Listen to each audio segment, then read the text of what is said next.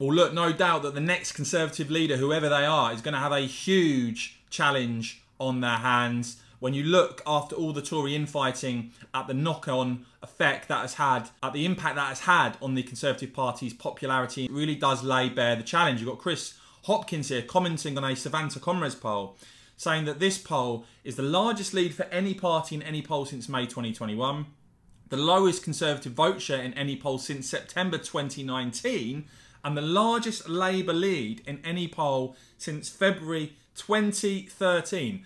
And this is a massive lead for Labour in this poll. It's a 15 point lead for uh, Labour.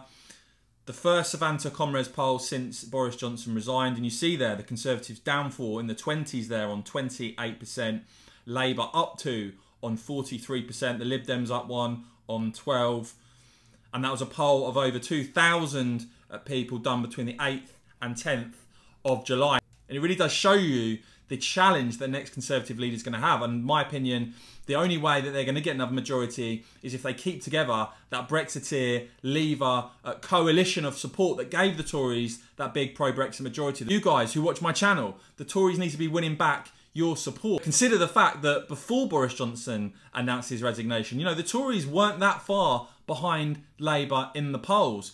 It was about a five to six point lead in a lot of the polls, but that has now been whacked up into big double digit leads. 15 point lead here for Labour. Uh, let me know in the comments below who do you think is best placed as the next Conservative leader to reverse this trend, overtake Labour again, and win the next election.